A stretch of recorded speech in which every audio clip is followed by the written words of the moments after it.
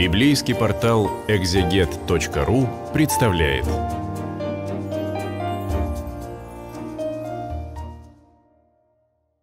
Здравствуйте, братья и сестры, все любящие чтение Слова Божия.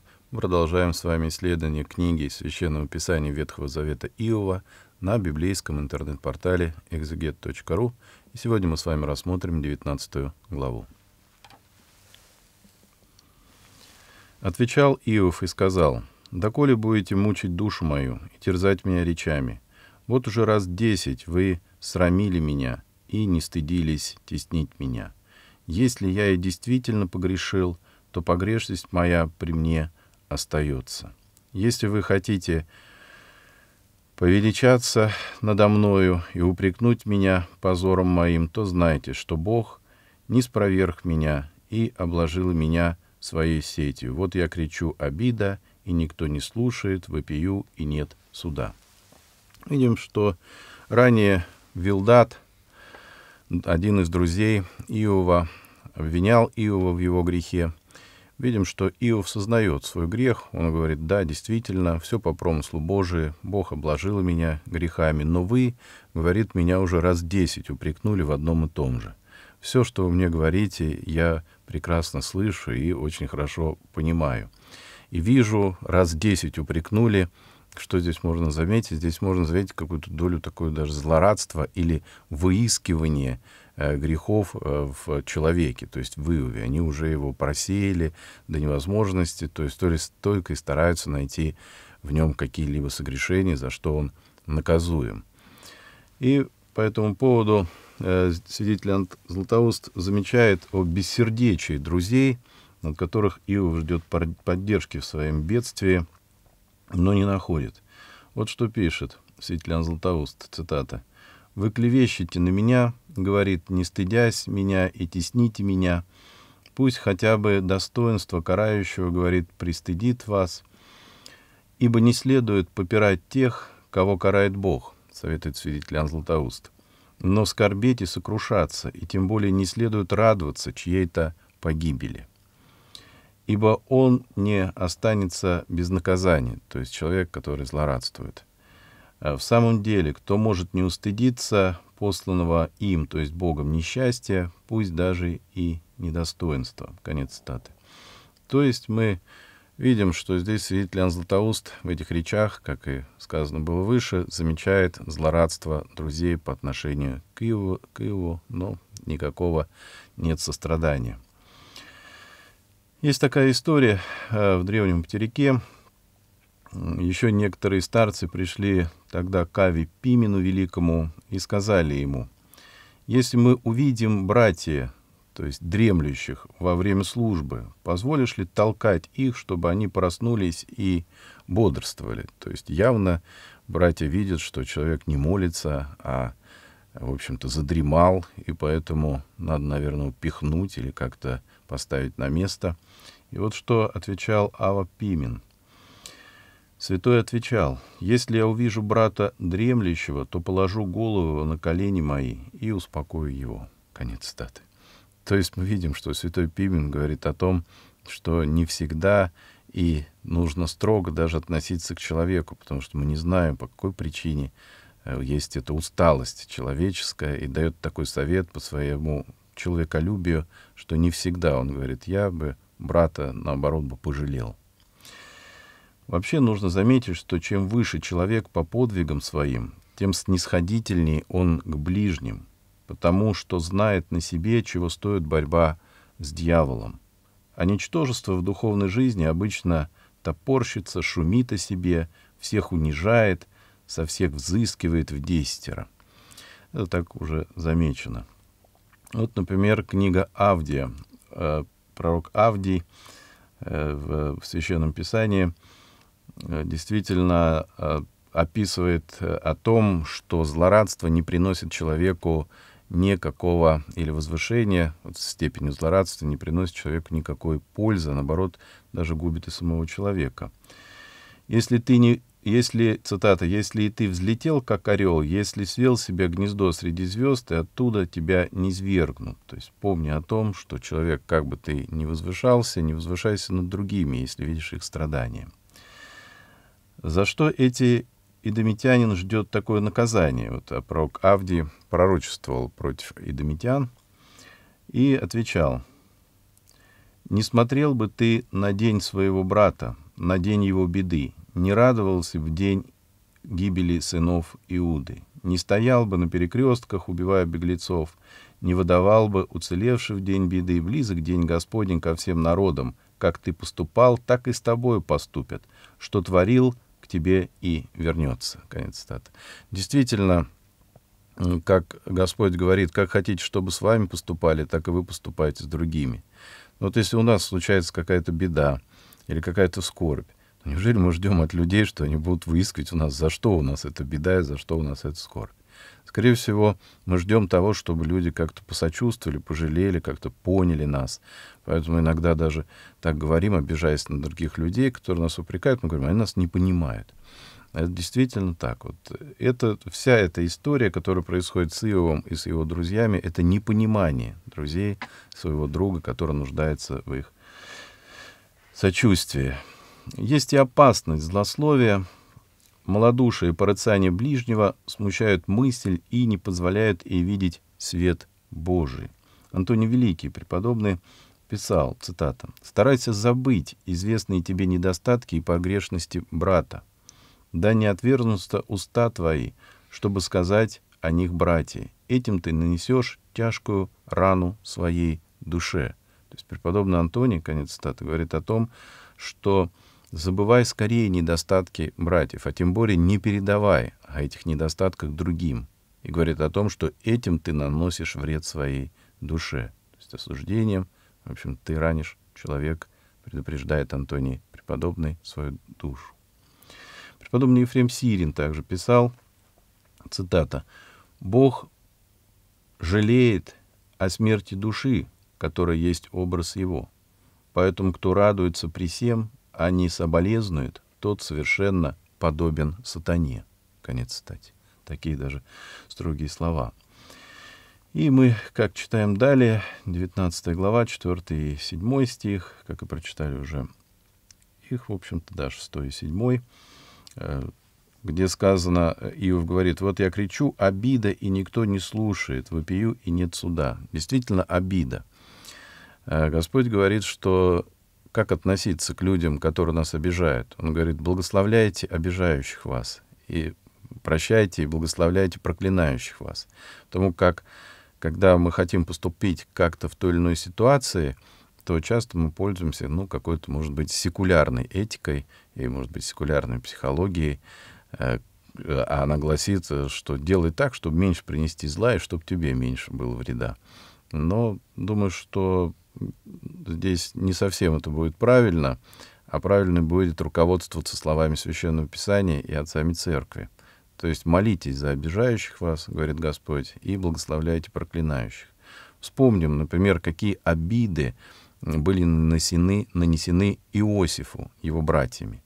Нигде не сказано, что он их проклинал, нигде не сказано, что он им как-то даже пенял в то, что они его обидели, и в ров бросили, и продали, и там, сколько он претерпел в Египте, и оклеветали его, и жена эта, этого Патифара, царедворца, там оклеветала его. Но мы помним, да, жена телохранителя, но мы помним, что Иосиф все переносил, все переносил с кротостью и смирением, и за это он был возвышен, и братьев своих принял, и помним эту встречу из книги «Бытия». Также и Саул, э, помним, сколько обиды нанес Давиду, но когда он однажды, интересная такая картина, пошел по нужде в пещерку, то Давид не стал его, мог его убить. Он был сзади, за спиной, он там тоже находился. Но он отрезал только кусочек одежды и сказал, я не держу на тебя зла. Мог бы убить. И Давид, в общем-то, когда заступался за свой народ, мы помним, как он сокрушил Голиафа, такой опыт у него был. Но он различал понимание, где брат, где друг, где враг. Все он это понимал, поэтому понимал, что Саул — это помазанник Божий, и трогать его нельзя. И от самого также Давид терпел от сына, помним, э, от сына своего множество различных обид от Давида Солома. Итак, э, мы видим, что обиды необходимо переносить, и их можно переносить только тогда, когда мы верим и любим Бога. Без Бога перенести их будет сложно.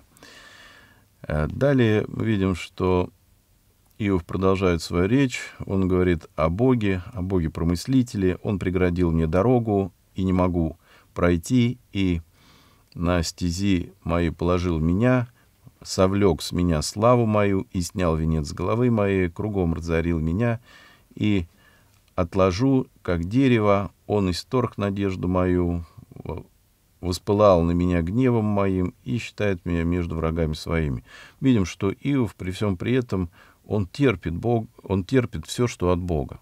Потому как он сказал э, в начале, в самом начале книги, где мы читали эти слова, Неужели мы только доброе будем принимать от Бога, а для испытания нашей веры, для утверждения, укрепления любви к Богу мы не будем в этой временной жизни э, принимать и что нам кажется, по нашему разумению, недоброе. Поэтому все, что, о чем он говорит, он говорит, я это все принимаю. Эти бедствия, он просто их перечисляет, какие бедствия его постигли. Он как бы говорит, вот по истолкованию, например, одного из, из древних экзегетов, Сидор преподобного Сидора Пилосиота, «Мои беды, — говорит Иов, — невозможно преодолеть. Подобно тому, как окруженные со всех сторон стеной или неспособные видеть не могут продвигаться дальше, так как я не могу выбраться из своих несчастий». И вот преподобный Сидор «Ибо праведник поистине страдает не за грехи, но ради испытаний». Конец цитаты.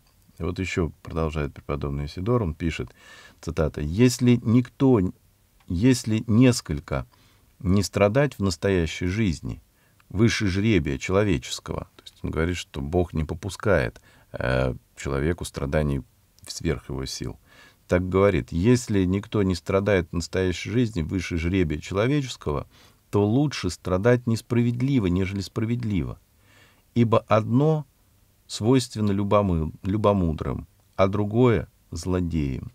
То есть страдать несправедливо свойственно любомудрым, кто понимает это, а страдать справедливо свойственно злодеям. И дальше продолжает.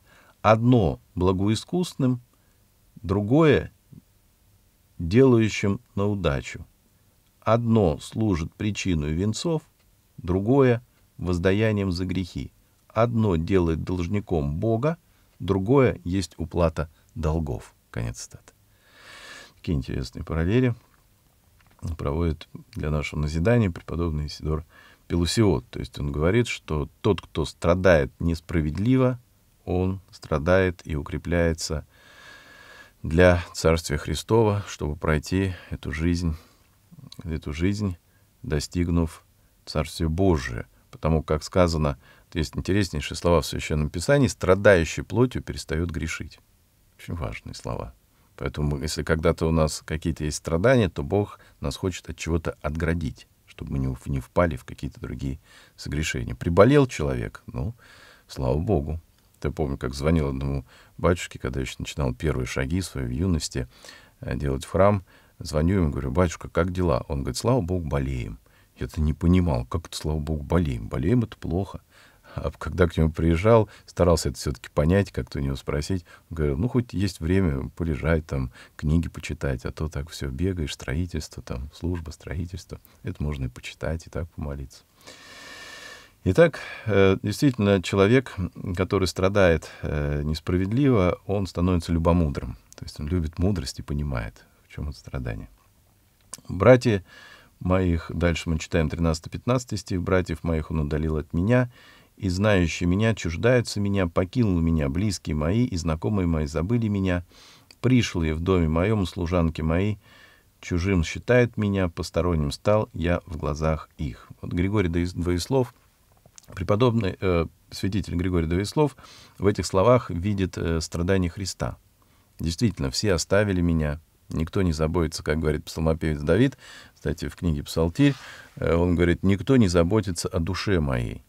То есть все оставили меня, никто не заботится о душе моей. Так и здесь Иов говорит, все оставили меня, я стал посторонний, как бы странником в своем доме. Так и Господь Иисус Христос был странник в этом, э, на этой земле. Он говорил, что негде мне голову преклонить. И птицы имеют гнезда, и лисицы имеют нора, а сыну человеческому негде преклонить головы. И вот свидетель Григорий Двоеслов так и пишет, цитата.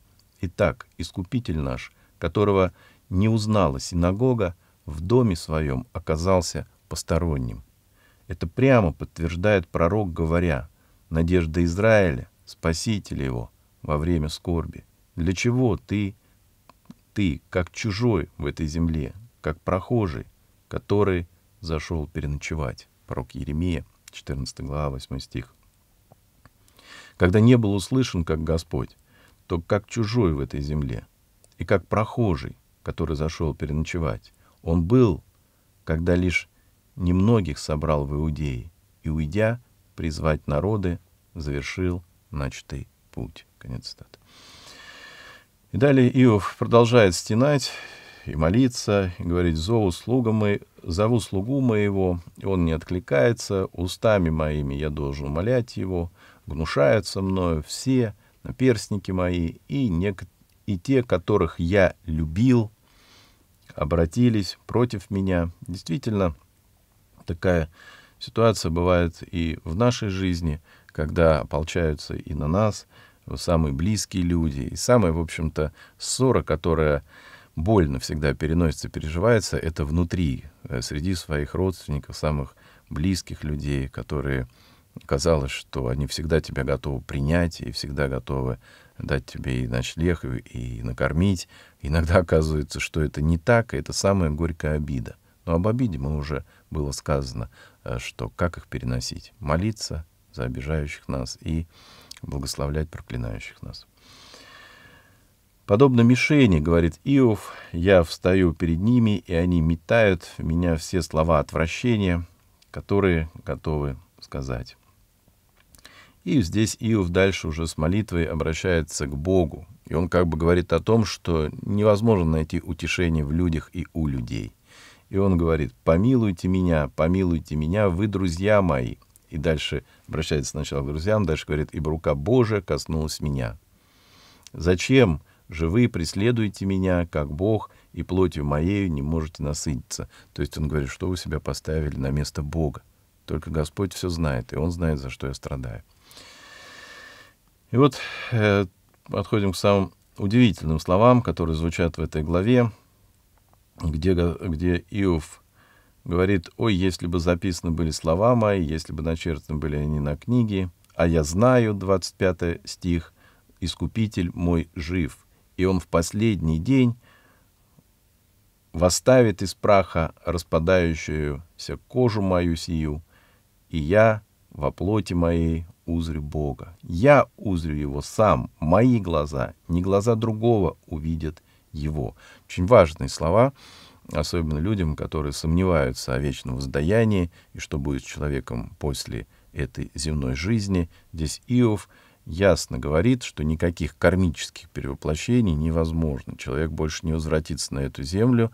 Он уже говорил об этом только лишь для суда. Предстать, воскресенье будет только лишь тогда, когда человек предстанет на суд Божий. И здесь Иов говорит, никто не другой, ни животное, ни камень, ни растение. Говорит, именно я. То есть в этих словах Э, в словах Иова выражена очень четко эта мысль о том, что личность человека, то есть душа, бессмертная душа человека сохраняется, никак она не растворяется. Поэтому, когда люди, верующие в кармические переплощения, говорят о том, что ну, человек забывает, что у него было, ну, иногда какие-то ситуации ему напоминают, что как будто он это видел или как будто это у него было, это противоречит э, то, что сказано в книге Откровения в словах Иова многострадального. Он говорит, моя душа, то есть я буду полностью осознавать мои слова, мой прах, Господь, востоит, не душа другого, мои глаза увидят Бога, а глаза — это зеркало души. Итак, Иов возвещает истину здесь, действительно, приход Христа, его суд и воскресение тела. Здесь Иов предваряет возникшее позже учение о воскресении. Люди, творящие дела зла не понимают того, что грядет суд. И этими удивительными словами Иов как бы завершает и подводит некий такой общий знаменатель всего тому, что было сказано им выше, И тогда мы видим, что это самая древняя книга, книга Иова, написана за 1850 лет до Рождества Христова, уже этот взгляд и надежда Иова на Господа и Спасителя. Как мы и прочитали с вами, Иов говорит, «И я во плоти моей узрю Бога, 25 стих, «Я знаю, Искупитель мой жив, и Он в последний день восстановит из праха распадающуюся кожу мою. И я во плоти моей узрю Бога, я узрю Его». Итак, я знаю, Искупитель мой жив. Удивительная вера и любовь Иова к Богу дает ему эту силы, дает ему эти силы дабы перенести все страдания, которые обрушивались на него в этой жизни. Это очень хороший пример для нас. Когда обрушивается на страдания, несчастье, мы видим, что у Иова отнято все, и здоровье, и семья, и богатство. Что нам делать? Нам только лишь молиться этими словами и надеяться на Бога. Надеяться словами Иова и воскликнуть «Ей гряди, Господи Иисусе!» или, как воскликнул Иов, «Я знаю, Искупитель мой жив».